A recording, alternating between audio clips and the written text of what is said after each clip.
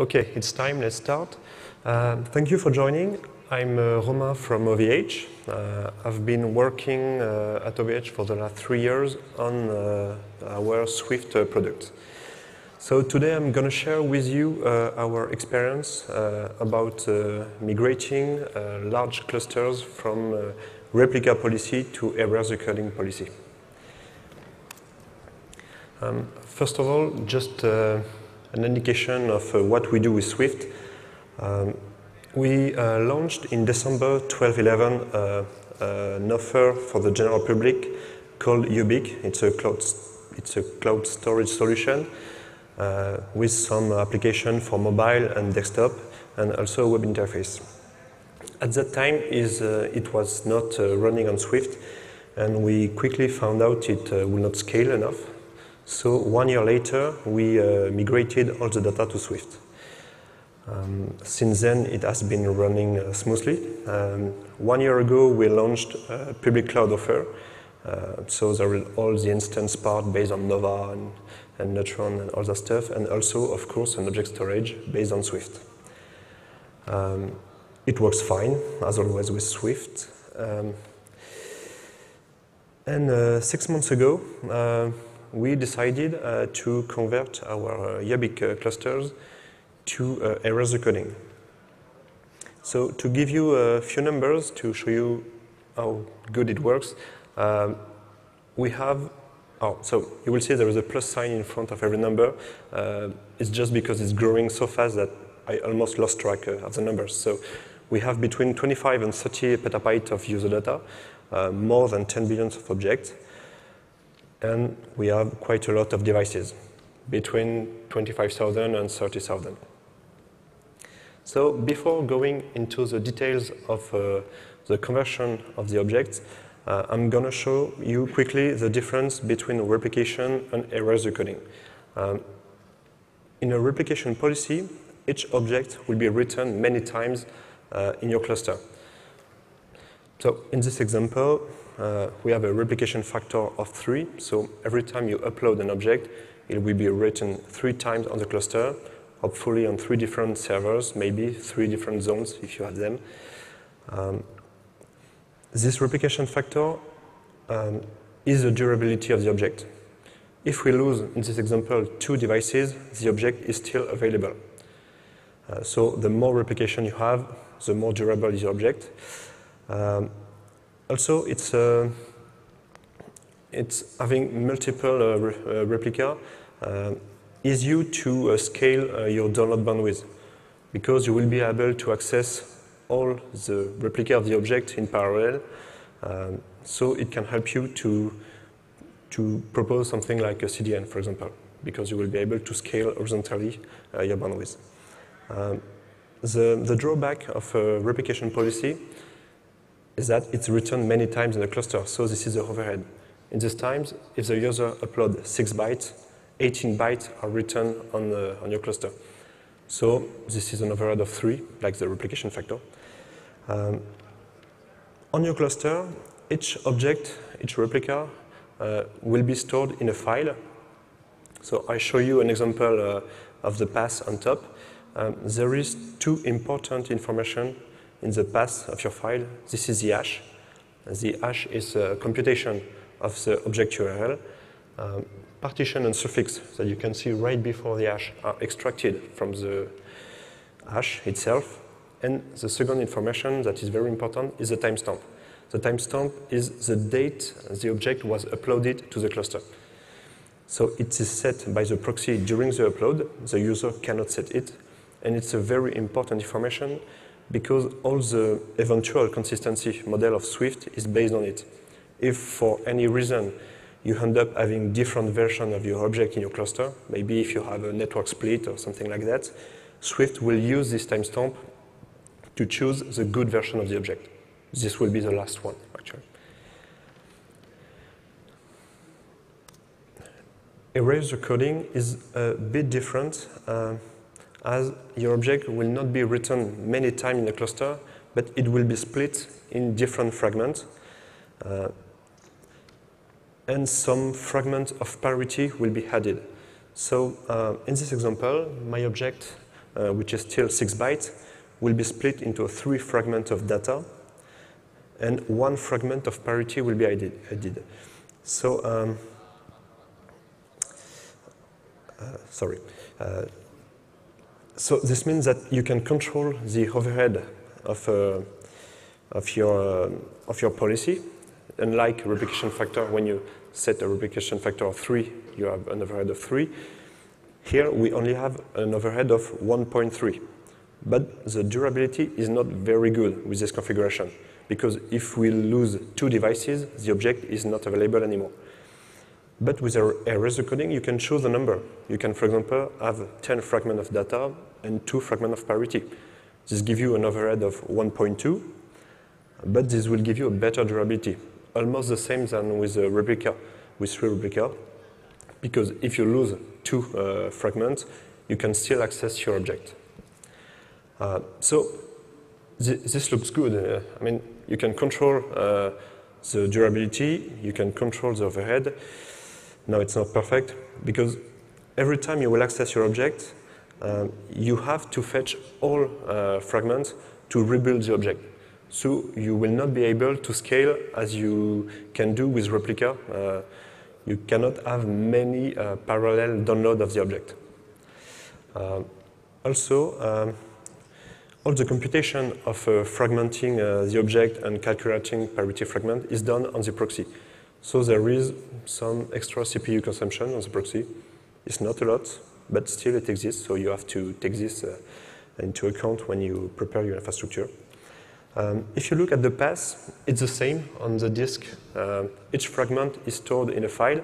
Uh, the only difference is there is a new information at the end, which is a fragment number, because the object is split in a certain way on the proxy. So when you fetch all the fragment to rebuild the object, you have to regroup them in the same order than they were split. Um, as we just saw, uh, each fragment are unique in the cluster. Uh, for, so when you, when you lose uh, a device with replica policy, you can just copy another, uh, another version of the object to the device you just replaced, for example. You cannot do that with uh, erasure coding because each fragment are unique. So you cannot just copy one fragment uh, in place of another. So you have to rebuild uh, the missing fragment. This is why you cannot use rsync anymore uh, with erasure coding. Uh, this is why there is a new protocol in Swift. Well, new. It has been uh, around for a few times, but it's called ssync. And this is a protocol that is used uh, with erasure coding. So instead of having object re replicator for replica, we ha now have the object reconstructor. The object reconstructor does two kind of job. First one is a revert job. This is moving uh, data to their correct uh, device. For example, if you just did a rebalance, this is a reconstructor that will do a revert job to move the fragment where they should be. And the second job is the sync job. It's rebuilding the missing fragments.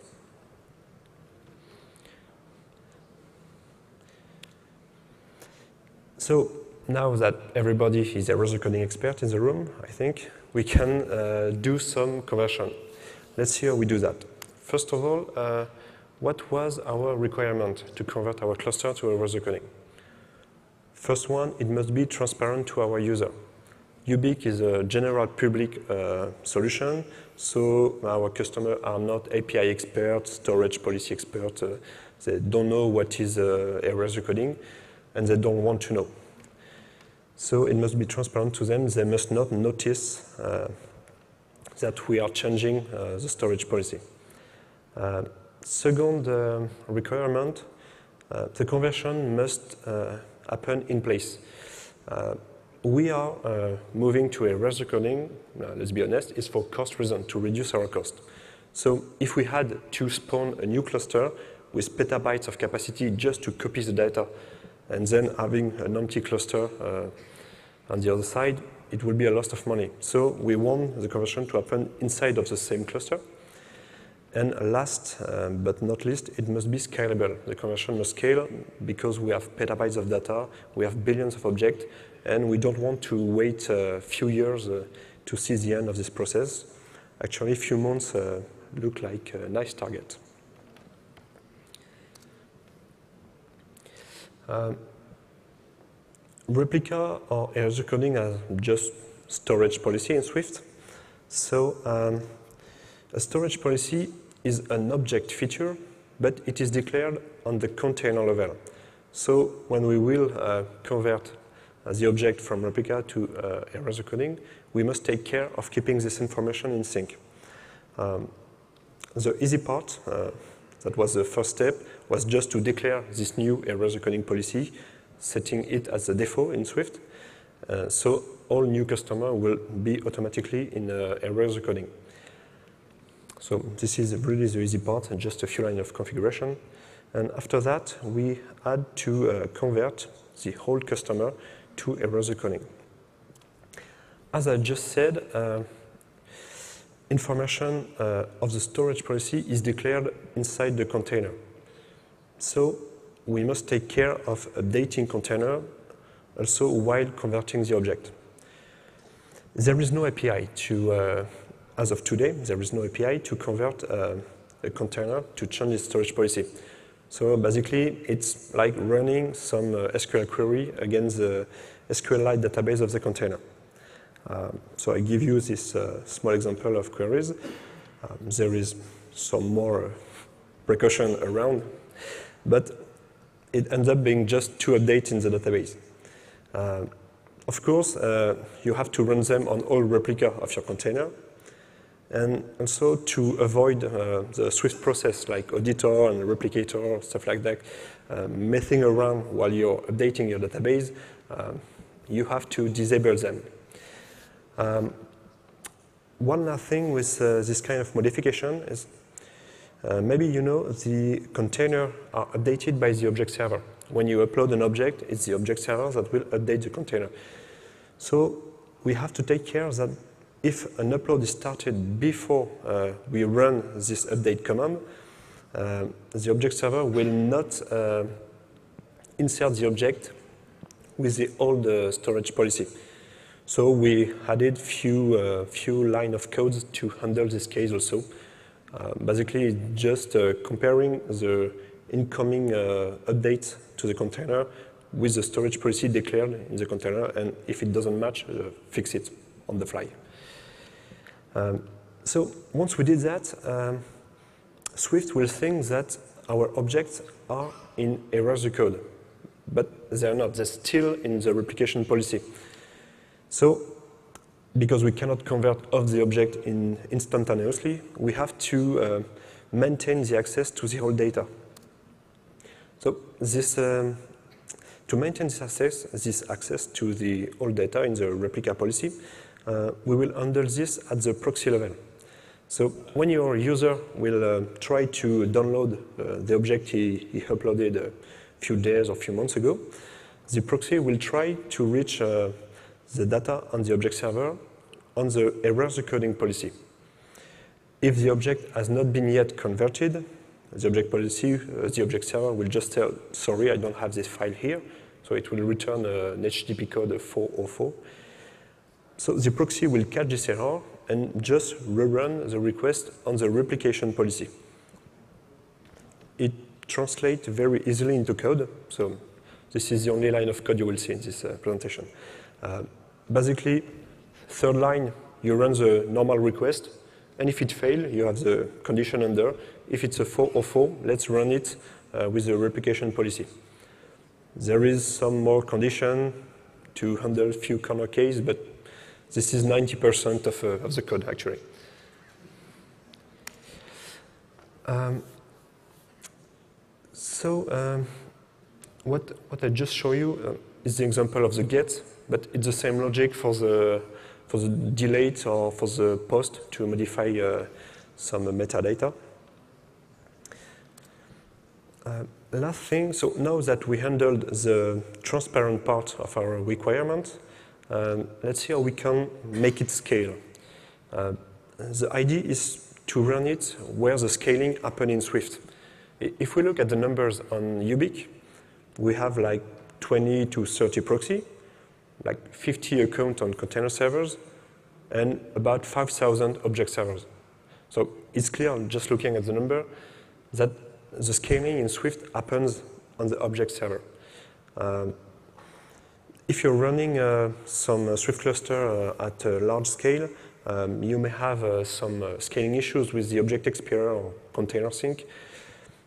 I'm actually deeply convinced that if they were running more closer to the object server, uh, we wouldn't have this kind of issues. So the community is working on, uh, on it, so hopefully it will be fixed uh, one way or another.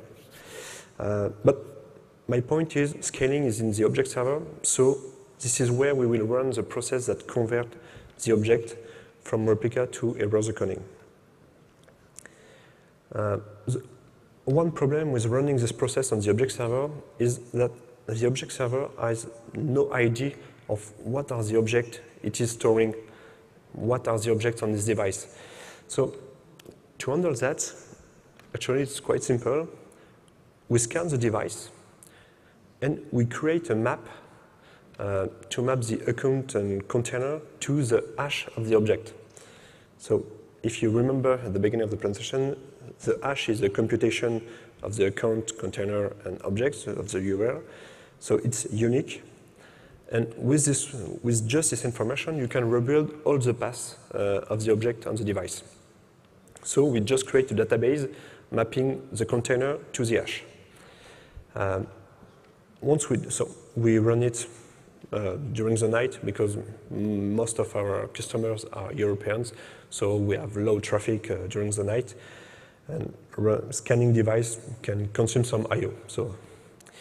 Um, once uh, we did that, we have the mapping. So if we decide to convert uh, a container, uh, we can quickly find uh, all the objects we have on the devices of the object server just by looking at this database. So we can quickly convert a container to, uh, to erasure coding. Uh, conversion will happen between object servers themselves uh, because we run the process on the object server. And to do that, we use uh, a class in the Swift code that, that is called the internal client. It it makes your process act like a Swift proxy with uh, the pipeline and almost all the stuff. Um, but you don't need all the feature you usually have on your proxy, so you don't have to put um, Ceilometer middleware or know, authentication middleware, SLO, DLO. You don't have to, to write them in your configuration. You can keep it to, to the minimum. Um, so we use this class to run on the object server and it will act like a Swift proxy. So you will do an upload with this class, and like a Swift proxy, it will write on the object server that should handle uh, this object. So for, this is the example of an object in a replica on the left. The process will act like the Swift proxy and write it on uh, all the object server that are supposed to handle uh, this object in erasure coding. So this is what happens when you convert one object, but we don't work by object, we work by container. So when we launch the conversion of a container, there is many objects. If it's a big container, there is at least one object on each devices. Uh, so it ends up being something like that. Every object server converts in every way to the others. Um, this is what make it very fast, actually, uh, because all objects get converted uh, all together. So except if you have uh, billions uh, of objects in your container, which I guess doesn't work quite right in Swift, you don't have many problems. So at that point, we have, uh, we have a working solution. And you're missing, actually we did, what could possibly go wrong? Well, few things, let's be honest. Uh, first one, um, I talked to you how we uh, maintain uh, access to the data that are not yet converted. And I told you it was for get, post, and delete. The head request is a bit different from the other because it doesn't access all the fragments at the same time. So uh, because it's optimized, it only gets to get one fragment to, um, uh, to return the information to the customer, the metadata. So the proxy just try to reach uh, the first object server, and if it don't get the information, it will try the second one, third, fourth, fifth one, etc., until it runs out of primary nodes. Then it will try on the handoff nodes, 15 more, and so it makes 30 requests, and during that, uh, that time the user is waiting, or maybe is not waiting anymore, uh, because it can take a lot of time. Uh, and after uh, 30 requests, uh, the proxy gives up, and then our code uh, try to fall back to replica. to handle that, we just limited the number of tries the proxy will do. so we chose five tries because we, we think it's a good compromise because if the proxy don't find any fragments in the first five tries, I mean, we have a big problem, very big. So just answering a head request uh, won't be uh, our main concern.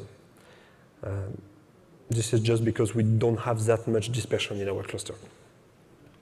So this was the first problem our user uh, uh told us. They had some latency uh, for the head request. Second problem, um, when you start the conversion of a container, especially if it's a big container, all the object server will start to convert altogether. And as they act like a proxy, they will do some request to check that the account exists, uh, that the container exists, some kind of head request. And when you have a 20,000 process uh, reaching to the same container server, uh, it hurts. It hurts the container server. So um, it's pretty easy, just uh, using the cache middleware uh, on the pipeline of the conversion uh, process. Uh, and just adding that, using memcache fix this load problem on the account and container server. Um, also, we added um, a distributed mutex uh, to the solution uh, to control the number of parallel conversion because um, converting too much object at the same time was creating uh, a lot of IOPS on the cluster. So controlling a bit uh, the number of uh, conversion uh, helped us to handle this extra load.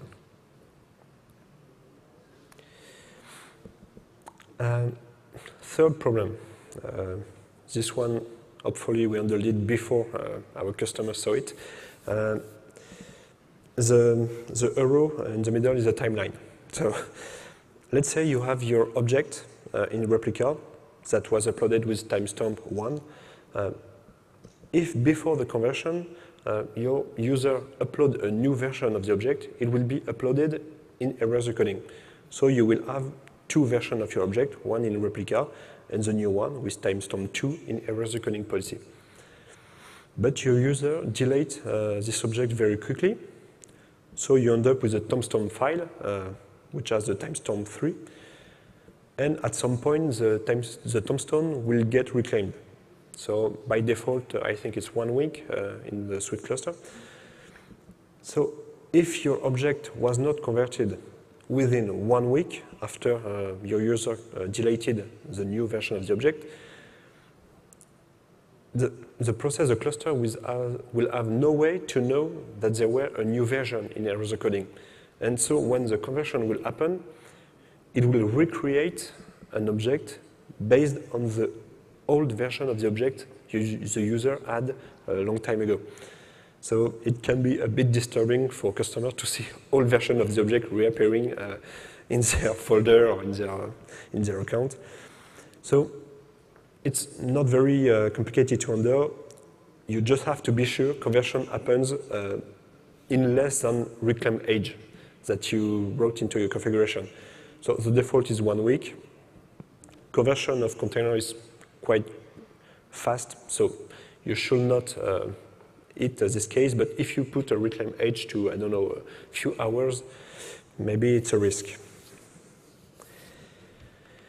Uh, last one, uh, I told you we were scanning devices to build a mapping uh, uh, between container and uh, object hash.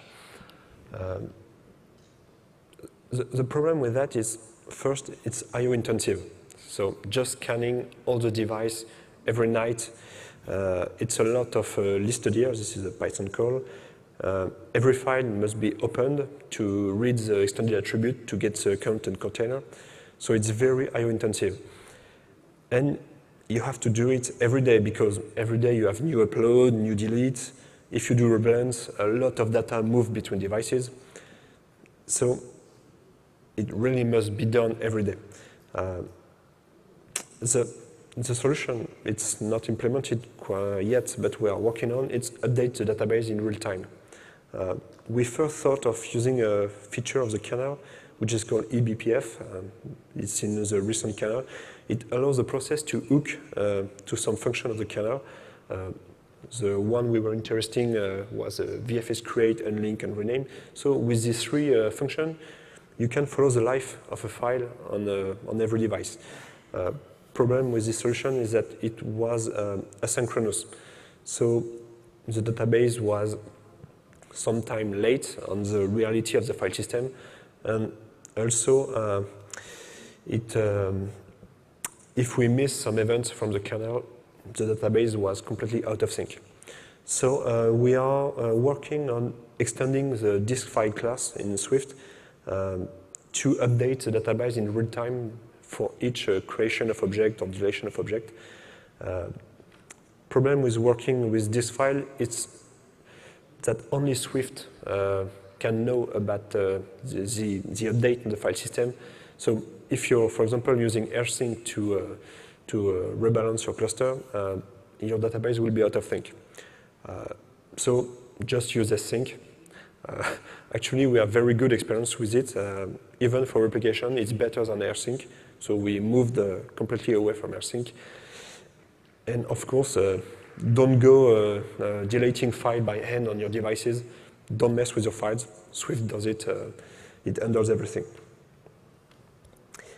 I, I really like um, to having this, this, database up to date in real time always uh, on my object server because it, it opens some, uh, some possibilities. Uh, for example, uh, you can map more than just account and container.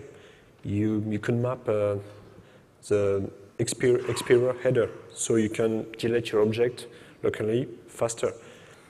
You can store, uh, like the A time on your file system, the last access to your object, so you can, uh, you can take some tiering decision based on it. Uh, you can also map uh, some inode information so that it, it will allow you to access your file faster than just accessing it the standard way of the file system.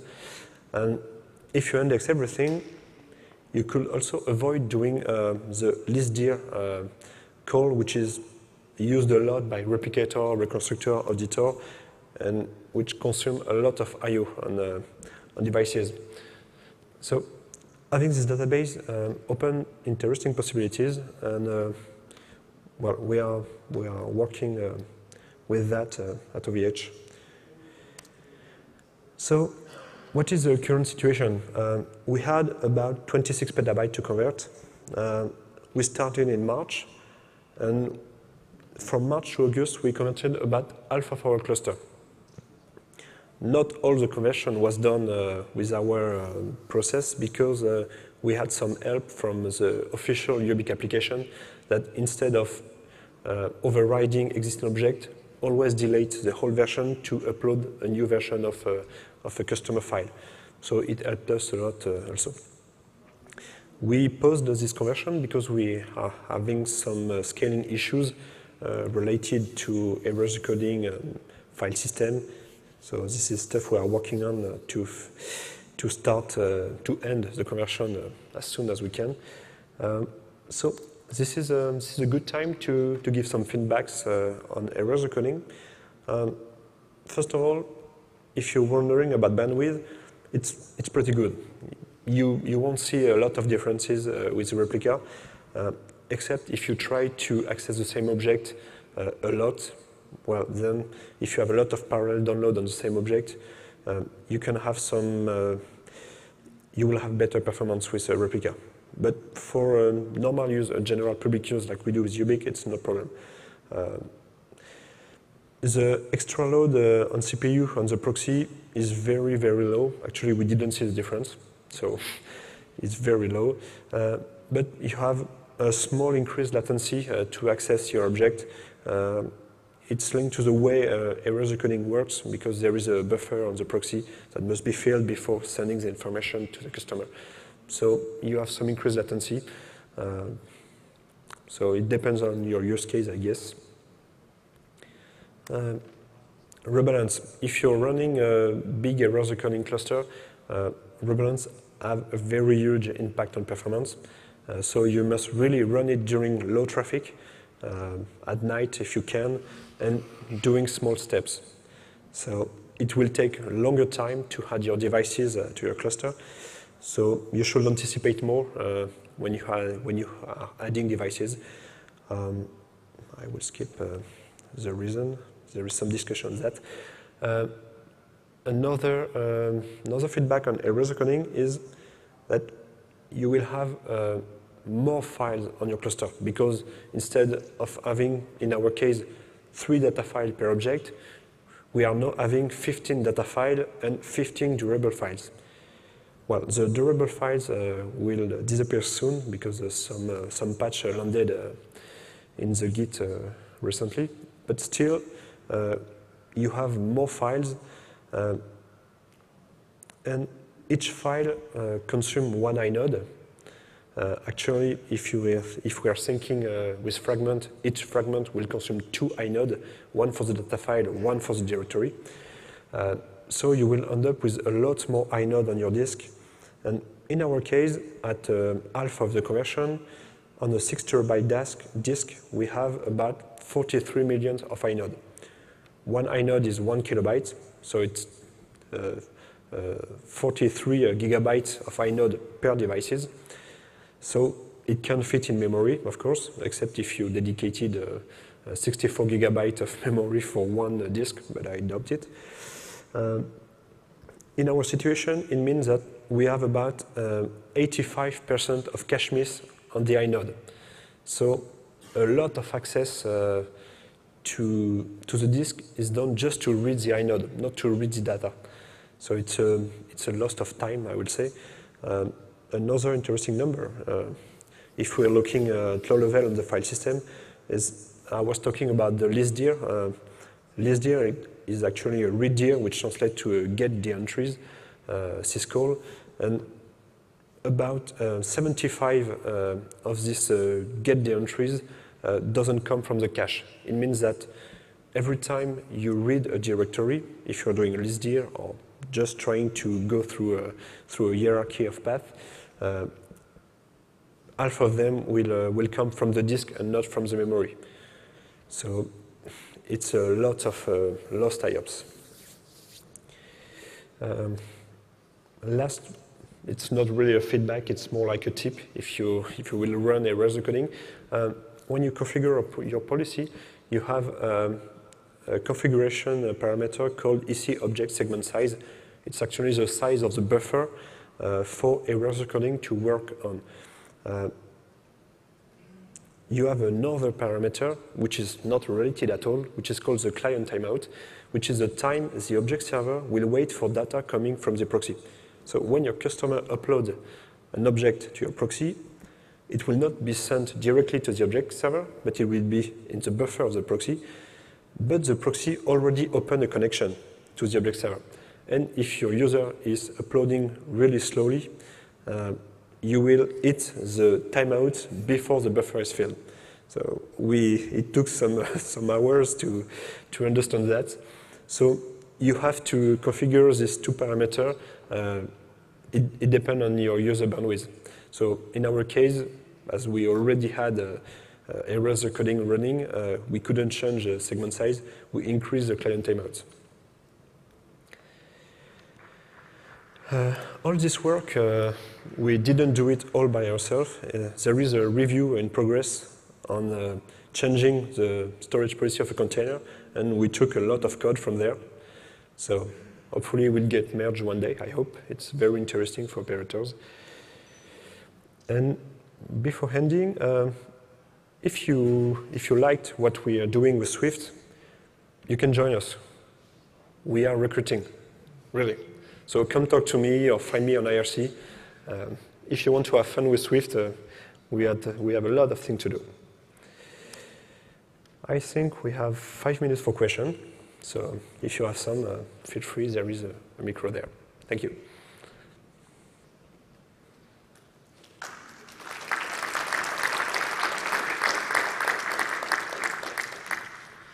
What do you guys use for the distributed mutex?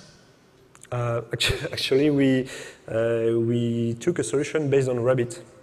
It's, uh, it looks strange, but it's, uh, it works uh, efficiently, and it's very simple. So I like when it's simple.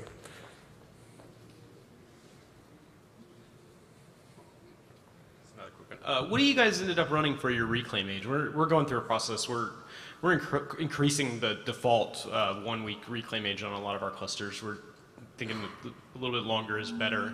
I meant to ask Brian the same question. What did you guys settle on? Are you still doing a week? Yeah, we're still doing a week, uh, and we don't really want to increase it because it will increase the number of files on devices. So one week is good for us. Uh, maybe I misunderstood, but uh, from what I got, from what you said, basically you are uh, starting, when you start to migrate your objects, you start from an index that you build scrapping your nodes, right? Your storage nodes. Okay, so since you have the object in replica at three places, uh, how do you handle not uh, starting the, the, migration three times over? What? Because you want to migrate once, so. Sure. Uh, actually, it wouldn't be a problem, but we run the conversion on only one zone. Okay. So we have okay. three zones, so yeah, it works okay. that way. Makes sense.